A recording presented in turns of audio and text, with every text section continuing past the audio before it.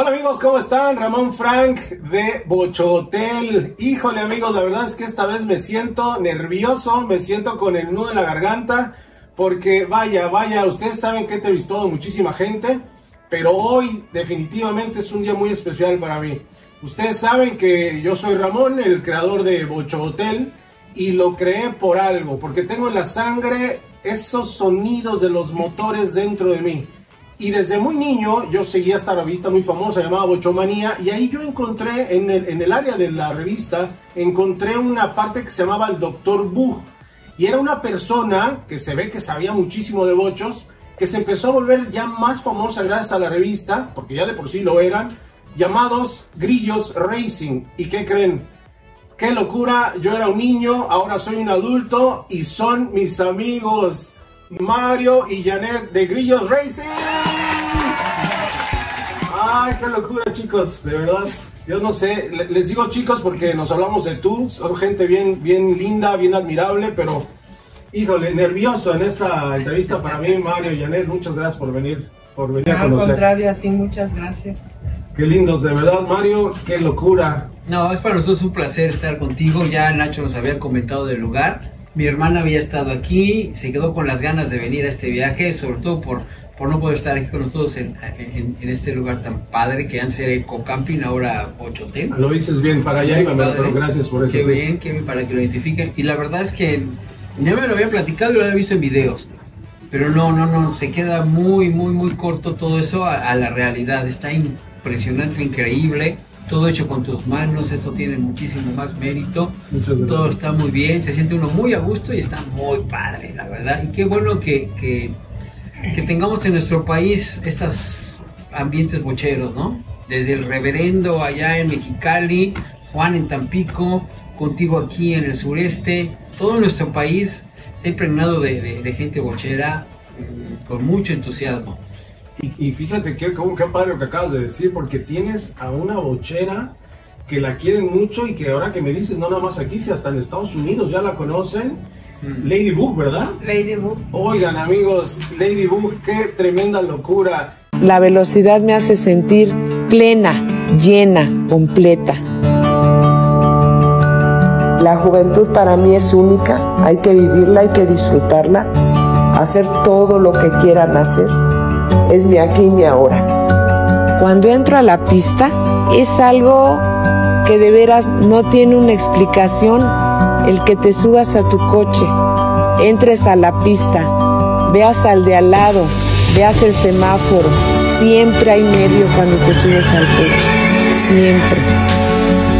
A mi marido siempre le apasionaron los automóviles. Siempre lo acompañaba aún con mi hijo chiquito.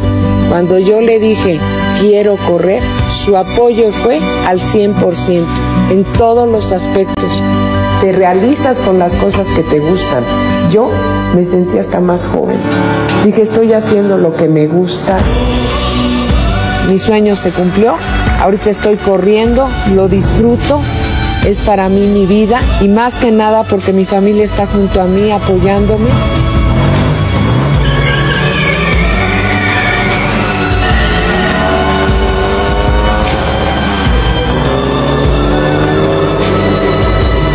Mí no me importa lo que la gente piense o lo que la gente diga. Esa semillita que tú quieres que germine, que siempre has deseado, el lograr tu sueño, es muy importante como ser humano que logres todas tus metas. Mi nombre es Janet Ramírez, tengo 61 años y soy piloto de carreras de un cuarto de milla.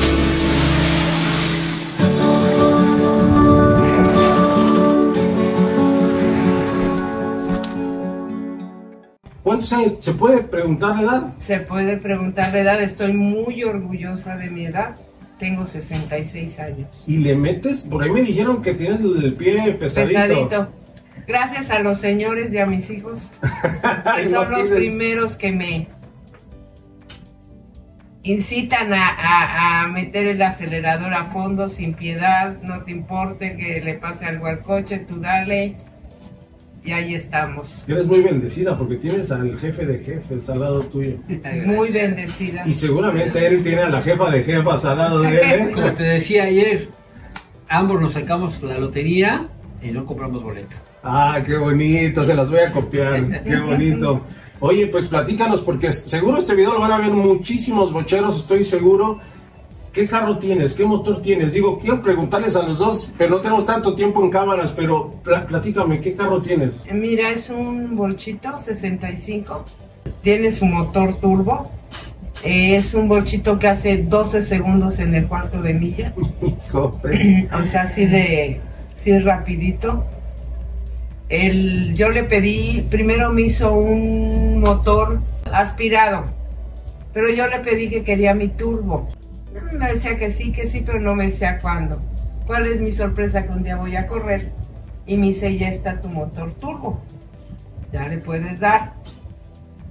Y ahí le di con el motor turbo y corrí con una chica de de Guadalajara, que nos arrancamos y me ganó ella por una milésima de segundo.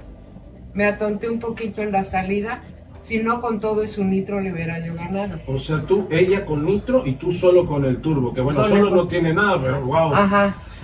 A mí no me gusta mucho el nitro. Para mí es trampa. Es que corras tú tu carro, para mí, mi punto de vista. Y ahora, digo, ya les dije que me pongan mi nitro, ya me lo ¿Están compraron, escuchando? pero no se animan a ponérmelo. No sé a qué le tenga miedo, ya les demostré que, que no tengo miedo, que me gusta darle. Es lo malo, no tiene miedo, por eso terminamos con el bocho estampado el- la última vez que lo corrió. Tuvo un accidente algo serio en el, el Centro Dinámico Pegaso. A la hora que mete segunda, con la potencia del motor, se patinan las llantas, giras un trompo y se estampa en la parte trasera del carro, bastante fuerte, ¿no? Afortunadamente su carro trae el, el roll bar, los sistemas de seguridad, cinco puntos, el casco, su ropa especial para correr y gracias a eso no, no, no hubo mayores consecuencias, pero ahora todavía quiere que le pongamos nitro, entonces sí está como para pensarle, ¿no? Imagínense amigos, ¿eh? el roll bar para la gente que no sabe es la jaula que llevan adentro con tubos para que si te vuelcas, pues eh, aparentemente ojalá no te pase nada. Y, y- y quieres tu nitro. Quiero mi nitro. ¿Y por qué quieres tu nitro? ¿Quieres ganarle a esta chica? Eh, Quiero que los que usan nitro, Está usar grabado, ¿eh? nitro. Sí, usar nitro también. Los que no usen nitro, yo jamás voy a usar el nitro, porque estamos corriendo parejos, Parejos. iguales. Pero el que tenga nitro también tengo derecho a meter el nitro. Y el que meta el nitro, y también para esta chava. Si Está va a quedando correr, grabado, ¿eh? sí. Que conste. Si va a correr con su nitro, yo ya también voy a tener el mío. Híjole, yo quiero ir a esas carreras, amigos. Ellos solamente los veían en televisión, en periódicos, en revistas, y ahora que los tengo aquí, no, bueno, les quiero preguntar todos. Pues qué padre, perdón, a decir. ¿Cómo ves, Ramón, que, que la mayoría de las esposas, como Gaby aquí presente, por ejemplo, Aquí está le- Nacho y Gaby, saludos, le piden, saludos. le piden a su marido pues que le arregle la cocina, que le cambie la camioneta, que lo lleven de un viaje. Ella no me la quito de encima que quiere nitro. No No, manches. ¿Quién más quiero que sea una esposa así, no? Qué padre. Fíjate que me recuerda mucho la, la, la, la pareja que tengo, Mare, que saludos hasta Chiapas, que ella la conocí en, en las redes sociales porque ella es amante de los bochos. Nos iremos a pasear, vamos de paseo. Entonces ella me siguió en, en- Instagram y fue una relación por Instagram. Ya llevamos cuatro años ya de vernos, ya tenemos una relación juntas, pero todo fue por eso. Entonces hace poquito que iba a lavar el bochito, que ni les he dicho, detrás aquí tengo el monstruo inspirado en los, en los autos de él, eh, mi bochito de cuarto de milla, me dijo madre, oye, yo te lo quiero lavar. Le dije, ¿es en serio? Y me dijo, sí. Amigos, ¿quién no quisiera tener una novia bien guapa limpiando tu carro de carreras? A la mecha, Valelin, ese es mi sueño hecho realidad. Y que conste que yo no la puse a, li- a limpiarlo, ella lo empezó a hacer solita. Oh. Sí, no manches, miren. El sueño de todo un hombre, y tú lo tienes hablado. El Todos sueño de todo, de todo un hombre. Y aparte cuando hay carreras corremos, a veces apostamos, a veces les doy ventaja. Cuando yo llevo dos ventanas, que es un carro rápido, y ella va el grisi, el de ella tiene 220 caballos, pero el mío tiene 400. Cuando es así, yo luego que arranque, la alcanzo, y ahí nos vamos peleando a ver quién llega primero. Pero a veces llevo la combi, que tiene un motorcito de 100 caballos, y no corre tan fuerte, entonces ella me da ventaja a mí. Y ahí nos vamos jugando y a veces apostamos. apostamos, ¿no? La última apuesta fue, si ella ganaba, yo la acompañaba al casino, porque le gusta mucho el casino. Pero si yo ganaba, tenía de permiso de ir a cenar con las edecanes de ese día. Oh, esa está buena, ¿eh? Empatamos, empatamos. Y, joder, ninguno ganó. Ah, Me ganó, me ganó. O sea que iba a invitar a las edecanes. Claro, yo por delante. Ah, no te iba a dejar ir solo. No. Y tenemos muchas historias con, con esos bochos, ¿no? Oye Mario, una Toda pregunta. ¿Un bocho normal cuántos caballos tiene? Un bocho normal, si está en perfecto estado, ¿Un tiene full injection? un injection o un- uno de carburador, que es muy poquita la diferencia. Tienen a las ruedas 35 caballos. Al volante motriz, si tú agarras el motor solito y lo pones en un dinamómetro, el puro motor, tiene 50 y tantos. Ese motor, cuando tú lo montes en el auto y tiene que mover la transmisión, los ejes y las ruedas, tiene en realidad 35 caballos. Entonces supongamos que bueno, tiene 35 caballos, el auto de, de El de ella tiene 250, 250 y el tuyo 400. 440. El de Nacho tiene también 400 y tantos. Qué locura, amigos. Vaya motorzotes. Pues fíjense que ustedes supieron que yo hice un video de la, de la vida, mi vida con mi bocho, y Mario tuvo que ver ahí sin querer queriendo, sin yo ahora que lo conozco. eh, él me hizo mi primer motor, el motor más grande que he tenido, que era un 1914. Y la verdad es que Mario, te felicito porque de verdad. eh, esto, el- ellos saben que esto no, no es publicidad, no necesitan publicidad ellos, son unos monstruos. Ese motor es el motor que menos me ha fallado en toda la vida. O sea, tuve el carro cinco años, el motor, perdón. Le di con ganas, fui a los arrancones, le gané a carros bastante grandes con, con el motor que me hiciste y nunca me falló. Así que la verdad es que si tú estás viendo y quieres un buen motor, de verdad con grillos, que bueno, es una locura porque me platicaba ella, ¿cuánto tiempo tienen de, de- de gente esperando por motores? Un año. Un año, amigos, para que te hagan un motor. Y Nachito, que es el camarógrafo del día de hoy, él ahí está ahí adentro y le hacen su motor a cada rato, imagínense. Es parte del team. Es parte del team. Nos, nos tardamos tanto tiempo porque lleva un proceso muy peculiar. Todo lo balanceamos, lo medimos, lo calculamos. En realidad, todos los motores, por, por pequeños que sean, todos los armamos tres veces. ¿Verdad? Una vez para ver qué necesitan, otra vez para, ya que se rectifique todo, para ver que todo ha quedado correctamente, y ya a la final para ensamblarlo. Pero en ese lapso nosotros balanceamos, medimos, calculamos, rebajamos, con una boleta vemos centímetros cúbicos y eso lleva mucho tiempo. Pero gracias a eso tenemos motores que prácticamente duran muchos años con mucho poder, ¿no? Sí, sí. Por eso es el tiempo de espera, por eso son los costos, no ponemos cosas regulares, ponemos las mismas que usamos para los coches de carreras y eso a la larga pues, es un beneficio para el que me manda a hacer el motor y para mí, para que no tener que estar con garantías a cada rato, ¿no? Entonces eso me da a mí la seguridad de poderte garantizar mi motor al mismo tiempo que si compraras un medio motor en la agencia Sí, sí, que, es verdad. que en México nadie te puede garantizar, nadie garantiza un motor de carreras, ¿no? Yo sí te lo garantizo si quieres por escrito porque sé lo que voy a hacer. Todos mis experimentos y todos los hago con mis coches, ya que están funcionando a la perfección, ya me atrevo a ofrecerlo, tanto para la calle como para las carreras. Entonces eso nos ha funcionado muy bien. Fíjate que, y, y por cierto, hablando de, de mecánica, este, un saludo a todos mis amigos mecánicos, porque el hecho de tener aquí para mí uno de los más grandes, si no es que para mí el más grande en México, no quiere decir que, que- que mis amigos mecánicos los haga a un lado, eh, no sean celosos, no, no, no, todos, Mario, todos tienen lo suyo, ¿no? Todos tienen lo suyo, todos necesitamos de todos. Sí, de acuerdo contigo. sí. Por muy bueno o muy malo que seas, tú siempre vas a necesitar de, de alguien. Y siempre Y aprendiendo, ¿no? por mucho que sepas, diario aprendes algo. Eso, eso. Nunca tienes la, la verdad eterna, ¿no? Siempre, siempre vas a aprender de algo. En las cosas más insignificantes que dices, ay, yo siempre lo he hecho así y está mejor hacerlo de esta manera, ¿no? O no sabías que se hacía esto, pero siempre en la mecánica, en la vida, en todo, siempre aprendemos. Siempre necesitamos de los demás.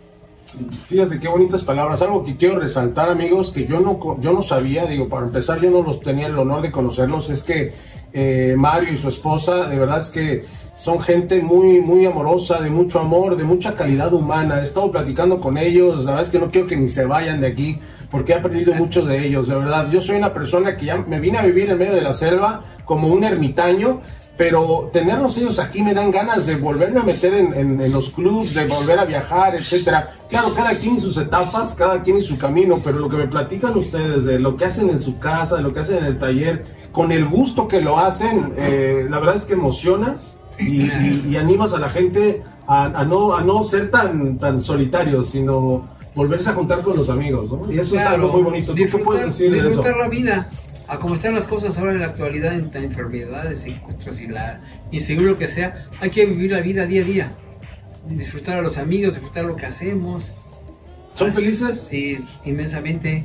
Imagínate, vamos a cumplir el 28 de este, 46 años de casados, felizmente. Como todos tenemos nuestros problemas, pero felices. Al fin de cuentas, juntos, y ahí vamos, y haciendo lo que nos gusta a los dos. a esta preciosa edad que tú ya tienes, una mujer madura, que ya tuvo hijos, que ya estás ahorita como, como la reina, ¿no? Ujú. Lo veo así. Sí. ¿Qué le puedes decir a las, a las jóvenes, a las mujeres, que de una u otra manera a veces les da miedo no sacar ese foie que tú, me imagino que sacas el foie a la hora de acelerarle todo el tiempo? ¿Qué les puedes decir a las chicas? Yo las incito mucho a que, a que corran, a que sean ellas, que nunca este, permitan que nadie les diga nada, que hagan lo que ellas sienten, que saquen esa semillita que tienen, si les gusta correr, si les gusta viajar, lo que a ellas les guste, que vivan su momento, que lo disfruten, que hagan lo que ellas quieran, ¿Importa la edad? no importa la edad. No, ¿qué me va a decir? Por No, no importa la edad. Yo nada más esperé a que mis hijos ya fueran mayores para poder entrar a lo de los arrancones, ya no tener un pendiente de que ahí tengo un hijo chiquito. Crecieron, hablé con él, su apoyo fue al 100%. Quiero mi coche, quiero correr. Perfecto. Me hizo mi coche, corrí. Claro, primero estaban los clientes, ¿verdad? Empezaba mi carro, llegaba y ya iba el mío para atrás. Y otra, y ya iba para... Hasta que me lo terminaron. El apoyo de mis hijos es increíble cuando veías que uno se va Saluda a Estados- tus hijos, saluda a tus Sí. hijos, sí. van a Estados Unidos y de repente me llegaba Mario con, mira, te compré tu palanca, te compré tu casco, te compré tu chamarra. Es que esto es una locura, Sí, ¿eh? el otro igual, porque a los cuatro nos gusta lo mismo. Tanto a mis hijos, Bilín, yo, entonces nos apoyamos en un 100% en todo. Una pregunta bien importante. Eh, te veo como una mujer empoderada, una mujer exitosa. ¿Se puede? Porque ahora estos, estas cosas están ahorita muy de moda, déjenme decirles. La mujer empoderada que manda al, al lado a un hombre, ¿por qué no? Pero yo veo aquí una mujer empoderada, una mujer con éxito al lado de un gran hombre. ¿Esto es posible? Claro que sí. Velo.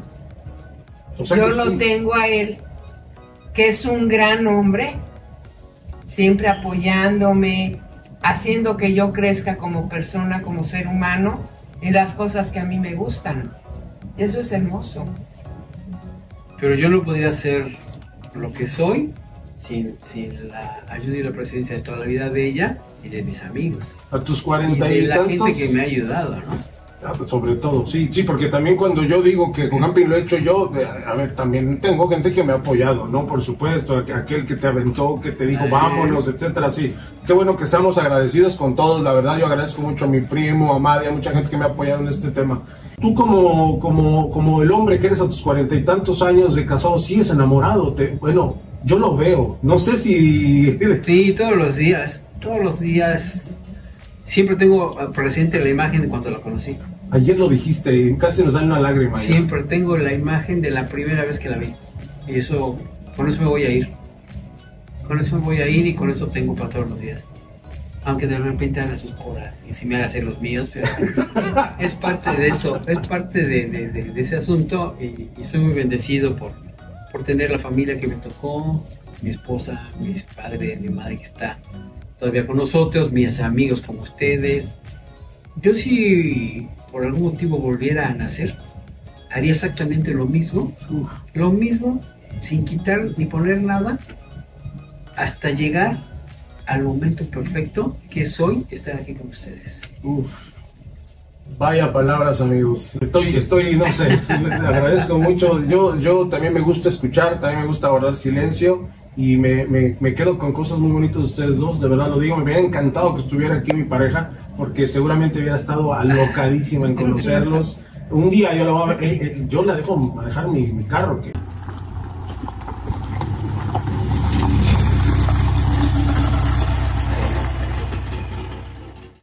ya no es el mismo monstruo de motor, pero le hice un motor grande también y ella lo maneja como si nada, ¿no? Y se escucha el brrrr y qué padre. Yo la verdad es que los veo como un ejemplo, los felicito. Es importante eh, el grupo familiar en tu vida. Es lo más importante. La familia y los amigos. Es lo más importante, lo más importante. Y también todas las personas. Todas las personas son importantes. ¿Sabes por qué comento esto? Porque eh, yo con pues, en la edad que tengo, en la etapa que llevo y que he estado también metido en el ambiente de los carros, etcétera, me, di- me, me he dado cuenta de mucha gente, Mario, este, que por los carros dejan a un lado a la mujer, dejan a un lado a los hijos y cuando crecen dicen, ¿por qué le hice tanto, tantas, le eché tantas ganas a, a mi hobby? Y y de los- descuidar a la familia. Entonces, ¿por qué tomo ese tema? Porque es un tema que me gustaría de verdad tomarlo y decirlo, que sí se puede. Búscate Claro. a la pareja perfecta. Eh, Él, él, digo, yo no estaba en nada de esto. Fue él el que a mí me empezó a jalar a su mundo, a lo que a él le gustaba. Las cosas que me explicaba, cómo me las explicaba para que yo las entendiera, lo que era el cuarto de milla. Me empecé a enamorar de los arrancones. Me involucró y llegó el momento, eh, no, no podía hacer muchas cosas, te digo, por mis hijos chicos. Pero una vez que ellos crecieron y yo le dije, quiero correr, nunca me dijo, no, ya estás grande, no vas a...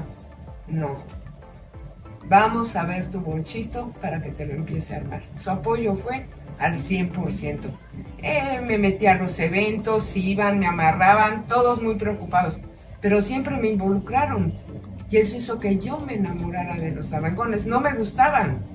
Yo me aburría, decía, ay, ay, vamos a ir. ot-". No. Con paciencia, con amor, explicándote las cosas, él hizo que yo le agarrara ese amor. Y a mis hijos igual, porque también los llevábamos. Digo, no descuidar a la familia que un día hoy no quiero ir a los arrancones, vamos al cine, vamos a cenar. También. No todos son arrancones, pero que ellos sepan jalarlas a donde a ellos les gusta. Yo digo. Qué hay, bonitas que, palabras. hay que dar para recibir, ¿no? Sí, de acuerdo. Siempre contigo. compartir. Lo que platicamos hace rato, hay que ser agradecido. ¿no? Este, siempre, ¿no? Sí, se lo, se lo decía al buen Nachito. Amigos, muchas preguntas que les tengo, ya se las, ya se las he hecho eh, en privado. Lo siento mucho, no puedo grabar todo, pero me quedo con algo muy bonito, una excelente pareja, gente humana, gente de amor. Y les agradezco muchísimo haber venido aquí a su casa, que no sea la última vez. No va a ser la Mm. última, Ramón. Nos encantó. Paz, tranquilidad, silencio, no es una cosa hermosa. Y bochos alrededor. Y bocho bochos alrededor. lados. Tú imaginas que ibas a dormir en un bocho, ¿no? Sí. Y aparte bien, cómodo, Cómodo. Un lugar boni- muy bonito el lugar, agradable, se siente seguro, mucha paz. En la mañana los pajaritos, los árboles soltando eh, los residuos de la lluvia, eh, fue como, como que nos arrullaban las gotas de agua que caían en, en- en los techos.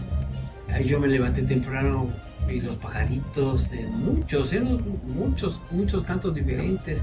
Me asomé a la ventana y, estamos en, en- un lugar maravilloso, en la selva. Aquí está muy padre. La verdad es que vale mucho la pena venir, vamos a regresar. Muchas gracias, de verdad Vale que... Gracias, les agradezco mucho este video, de verdad que lo hicimos no para darle publicidad a Bochotel, sino para darle eh, en honor a gente tan hermosa Gracias. y yo muy agradecido por, por conocerlos. ¿Les puedo pedir algo? sí, claro, por supuesto que lo iba a hacer, chicos. Pensaban que no lo iba a hacer. ¿Me podrías autografar mi bochito Ah, y me que sí. autografar mi combi? ¿Sí, es posible? No, claro que sí. Muchas gracias. Ahorita te agarro y te ayudo a abrirlo. Gracias, que sí, gracias. Ahí está. Híjole, esto va a estar cañón. Vamos, espérate, voy a, voy a con la, con la cámara eh, a todo color. Órale, aquí estamos. Vamos a ponerla aquí. Este bochito estaba en el bocho de Luisito Comunica, en el baño. ¿Y qué creen? Ya no va a estar ahí. Nachito, gracias por traerme a, a- a nuestro buen amigo y a su esposa, de verdad. Gracias, Nachito, Gaby. Gracias. Lo mereces, amigo, como buen bochero. Como no podía buen- faltar Mario aquí. Que por cierto, ¿dónde se durmieron ustedes? Díganlo, díganlo. Ay, en la super Westfalia, la suite de la Westfalia. Increíble, súper recomendable. Muchas, muchas gracias. Pues aquí están, miren, amigos. En cámara y a todo color. Quisiera ponerle muchas más cosas, pero no caben aquí. Muchas gracias, de verdad. No caben aquí, pero me lo llevo en mi corazón de tu lugar que es precioso. Muchísimas gracias, de verdad, de todo corazón. Y bueno, pues ahora le pasamos, ahora sí, no las cámaras, sino el plumón y la combi. ¿Cómo, cómo te dicen en el ambiente? Ladybug. Ladybug, ¿verdad? Ajá. Sí, saludos a todos tus seguidores. Que por cierto ya le dije a, a nuestra buena amiga Ladybug que, que abra sus redes sociales, pero lo pueden encontrar en, en Grillos, ¿verdad? Grillos Racing. Ahí la Grillos pueden Racing, encontrar. Ahí donde ponemos todo lo que hacemos. Lo que hacemos nosotros, lo que hace mi sobrino Adiel en la Copa Panamericana, en las carreras de turismo. Él también es muy exitoso con, con los autos que está haciendo. Mi hijo Mario también hace los coches, Alex ahí anda también. Toda la familia está involucrada con Volkswagen. Qué padre, qué padre. Pues ya ven amigos, porque les dije que yo me iba a volver loco este día. Qué locura. Tengo a los bocheros de los bocheros de los bocheros en casa, aquí enfrente, bueno, al ladito de- del bochito que lo hice gracias al apoyo de Nachito, que es el camarógrafo, a su mujer y a ellos, que les agarré sus fotos de su página. Váyanse a, a verlo a Grillos Racing en Facebook y ahí van a ver los carros que tienen increíbles y miren, pues de ahí creé esta locura. Con mucho cariño, Ramón. Ay, muchas gracias. Pues ahora yo les quiero dar un pequeño parchecito, que, que bueno, era cuando decía Eco Camping, pero es un parchecito, ojalá algún día se lo pongan en algún traje, de, Los to- las carreras. de todo cariño y de todo corazón. Claro que sí. Gracias, Ramón. Aquí está el, el- el de este. Sí. Nosotros tenemos nuestro, nuestro equipo de carreras, nuestro Se lo va a poner a mi chamarra. ponemos las chamarras Oh. especiales antifuego y todo eso. Y pues tienes un lugar ahí. Muchas Sobre todo gracias. por ser bochero, por ser amigo y por ser la persona que eres, ¿no? Gracias, de verdad. Es, es poca la gente que tiene la- las ganas de hacer las cosas como tú, ¿no? Y que las hace. Tengo muchos amigos que tienen muchos planes como los tuyos, pero no los hacen.